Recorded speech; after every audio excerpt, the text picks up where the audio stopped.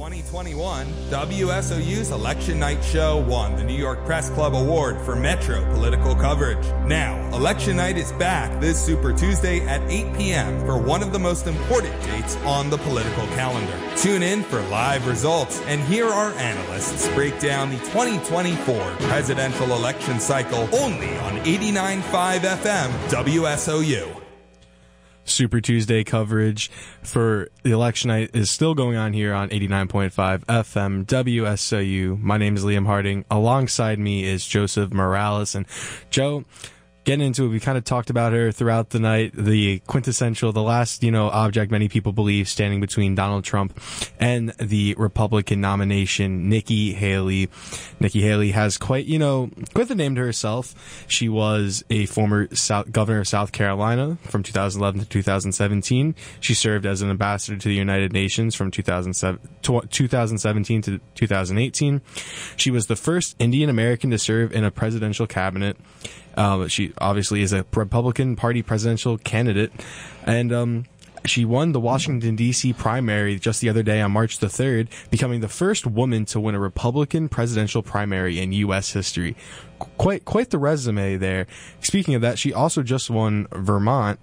Uh, winning, having 3,684 votes to Donald Trump's 30,469, giving her the majority and seven, 17 delegates received so Joe, she's just making history, trailblazing for a lot of people here, you know, in the world. Yeah, I, I think this shows that she can win a couple of these states and give Trump a run for his money. Now, I don't think it's going to end up in her representing the Republican Party in the general election, but she's showing that she can take away some delegates from Trump, and if she wants to propel this into a future presidential run, it's like in real life if you run for something, get your face known, get your feet wet that's what Nikki Haley's doing right now for a future presidential run. Now, yes, she wants to represent the Republican Party in 2024. The chances of that happening, Liam, are pretty unlikely. But she's well equipped to go on a run in 2028, in 2032, in 2036. She has years, she has experience, and in a couple years, it wouldn't shock me if she's representing the party in general.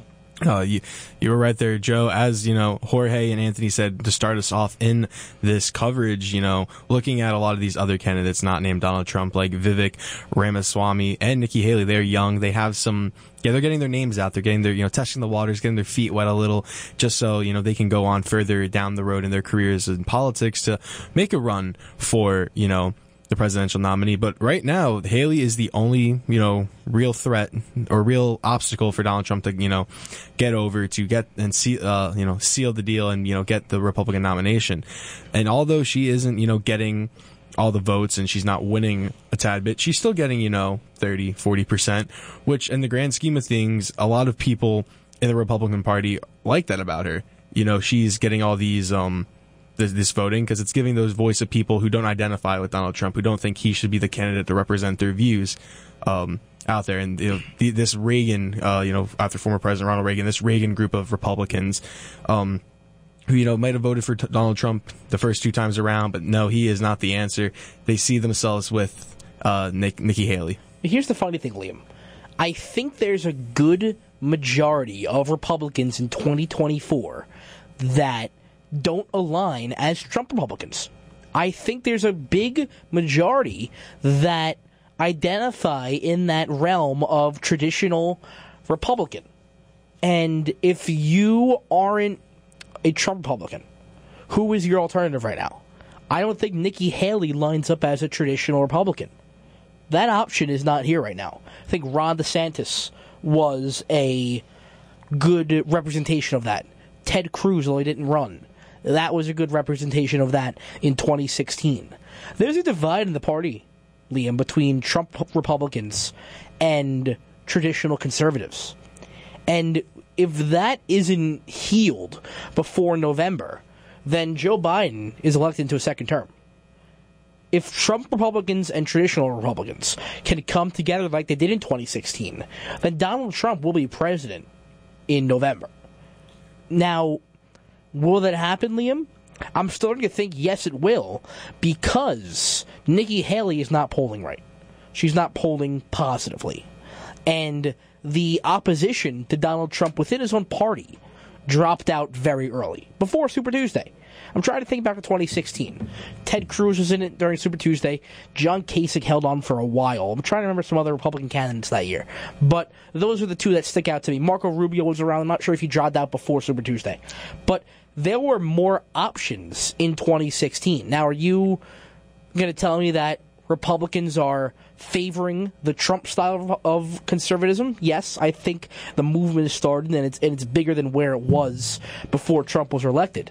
But I still do think there's a strong base of traditional Republicans that wanted to give Trump a run for his money, but the candidate isn't there this year. So they're settling for Donald Trump in a general election against Joe Biden. Yeah, no, you you're definitely right there, Joe. I definitely see, you know, the the movement shifting in a way to reflect more towards uh, Donald Trump, but for more of these traditional conservatives, like you know, they kind of coined themselves the term of a Reagan Republican per se. Think about you know former President Ronald Reagan, and during his time, you know, trying to get elected. Um, th- there isn't that option. That's what Nikki Haley is being used for. It's uh, all these articles I read while preparing for this. Uh, they they said Haley represents gives them that voice because they don't necessarily see themselves aligning with Trump's values as president, but they all don't want to you know completely turn their backs away from the Republican Party. And that's the basis that Nikki Haley is trying to run on. It's clearly not working, and people clearly are not responding to it.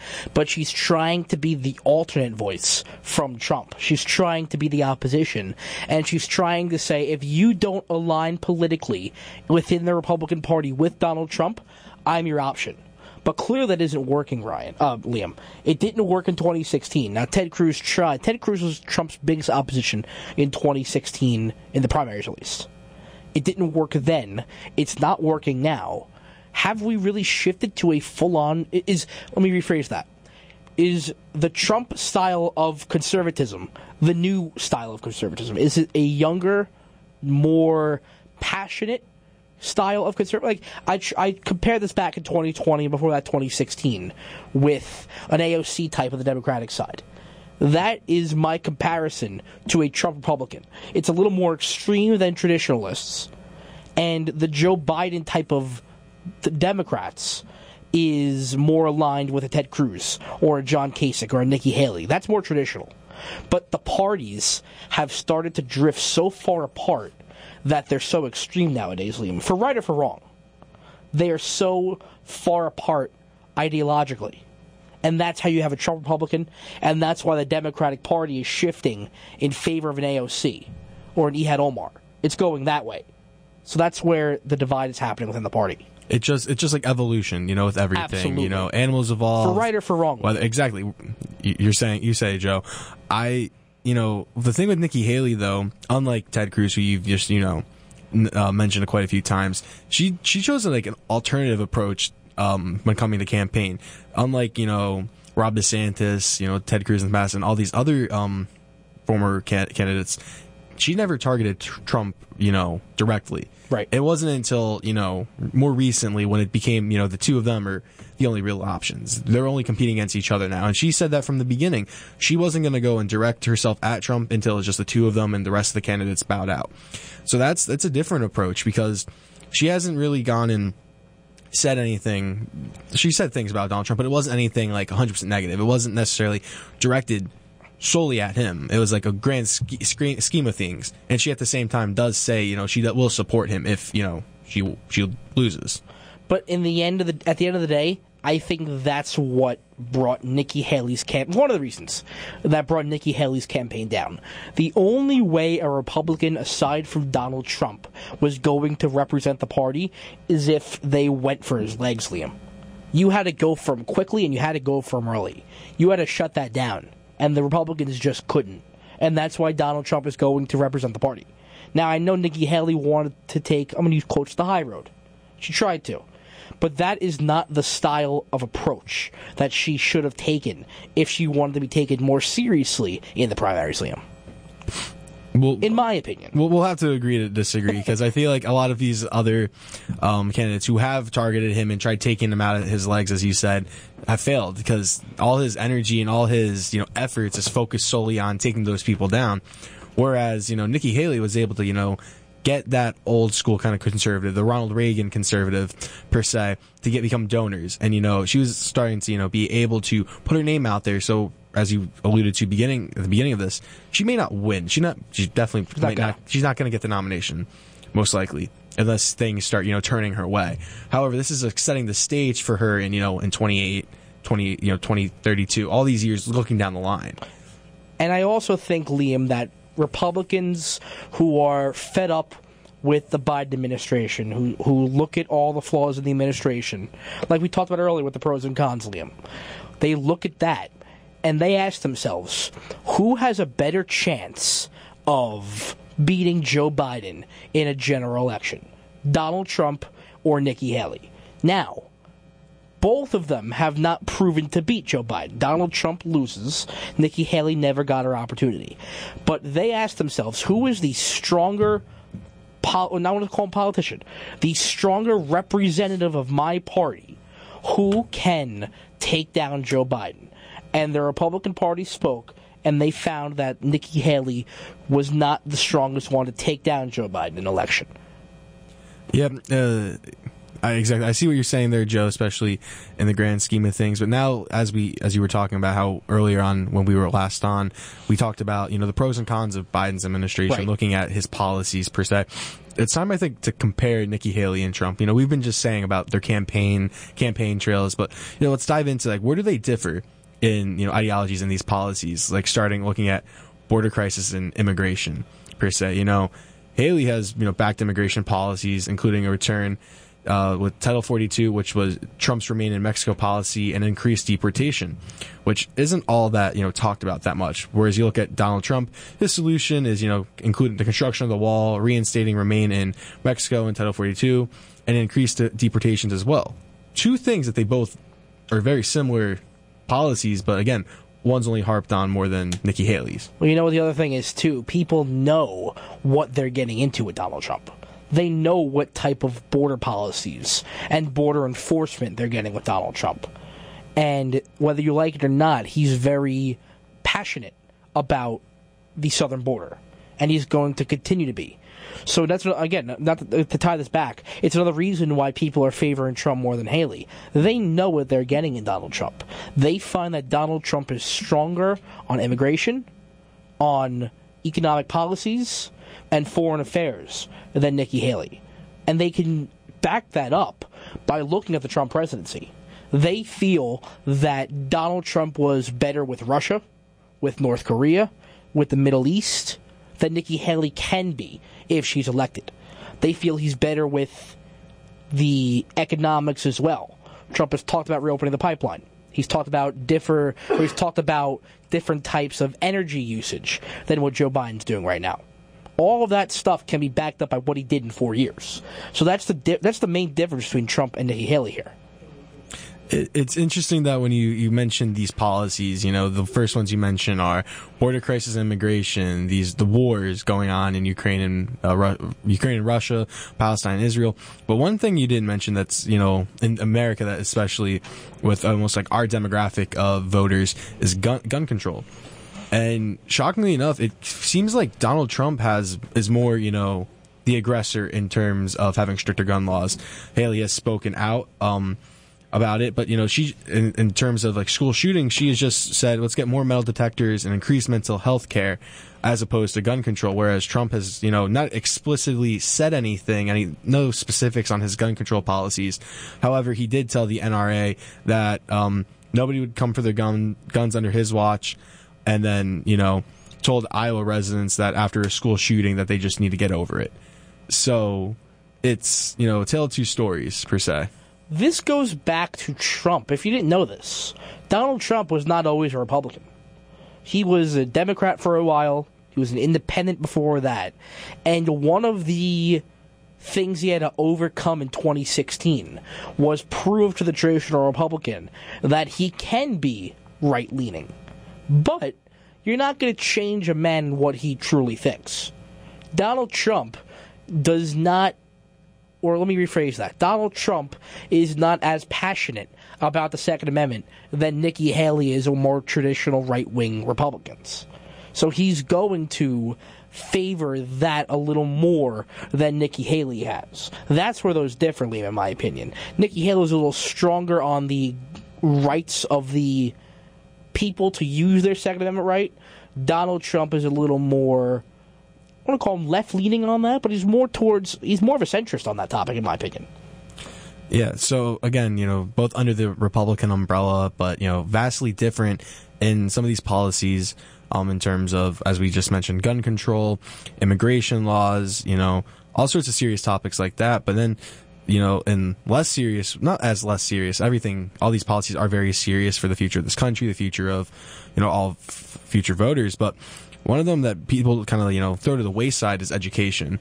And, you know, Donald Trump has stated that he would shut down the Department of Ed and defer policies to the states. Um, you know, get rid of, he's been opposed to critical race theory in schools and then through college level subject is not part of K through 12 curriculums. He wants, you know, all these, all these different things for education and just getting rid of that department. Whereas Haley has, you know, spoken in support of giving parents more say in how schools are run and promised to reduce the size of the Department of Education. She still wants it to be that governing body. So do you think, um, in the future, you know, with these stances she has, is it going to make it these races for these other candidates something to look forward to? You know, is that going to be like, you know, a defining thing is these minuscule topics that kind of, you know, get thrown to the wayside? Or do you think it's just going to continue to be those main topics like gun control, immigration, border control, all that sort of stuff? Education is always going to come up, and it's an interesting subject, too.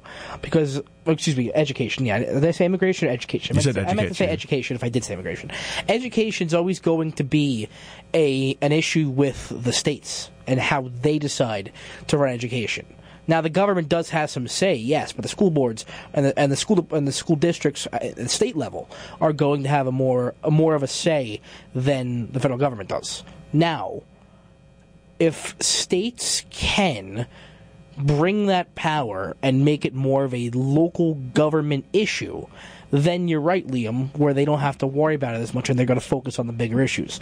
But education still is a very important issue, Liam, and it's going to be talked about until it's figured out, especially um, when it comes to schools that don't have as good of reading levels. Graduation uh, rates. Schools like that are going to be put under the microscope and talked about on a national level when it comes to education. Now, we've talked about you know these policies and the importance of them, the crux of them, especially you know again, Joe, just the, the whole immigration border control has almost been the center, especially when in terms of how vocal Donald Trump's been about it, especially before he got in office, when he was in office, and most certainly now, as we mentioned earlier, with the rise of 8.2 million uh, illegal immigrants, undocumented immigrants. Do you think because of how vocal Donald Trump's been with issues like that for so long, um, compared to that Nikki Haley, who I feel like many of us, including myself, kind of just heard of when it came to this election area, is that why Donald Trump voters um, go towards him more than her, or do you think there's like any other underlining issue that it could be?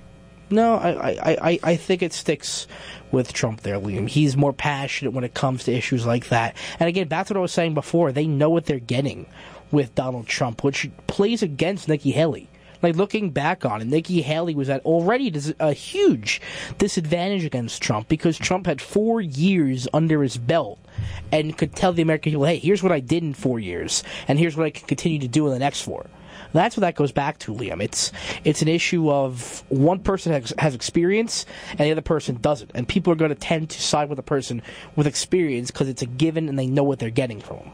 Yeah, that definitely is a big factor in terms of, you know, knowing what you get. You know, one thing, that, you know, is the common conception with uh, politicians is that, you know, they're going to say one thing, they're good at shaking hands and kissing babies, but, you know, the minute they get in office, you know, sometimes those uh, first hundred days, you, you learn the truth real quickly about these important policies. So someone that like Donald Trump, who is in your face, who says what he means and acts on it, is definitely something there. But I think another area of emphasis on why some of these Trump voters aren't really aligning with Nikki Haley and her ideology is just almost people have been calling her almost two faced per se because of how she, um, like other uh, candidates, go about certain things. She'll say one thing about you know stance on something and then go back on it, especially when she talks about her you know uh, heritage. You know, she is the daughter of Indian immigrants And, you know, that has been a main focal point in her career, a main focal point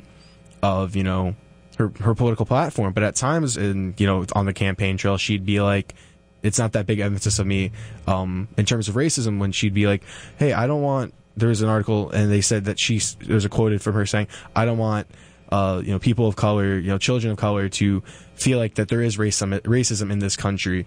Uh, you know, as I was, I grew up without feeling that sense of racism. And then a few days later, she then, you know, turns it around talks about how children need to realize this and racism is a quintessential part of what America is and needs to change. It's in the essence of America, but needs to change. So again, people have been saying that because of that, like, I wouldn't say two face, even though I said that before.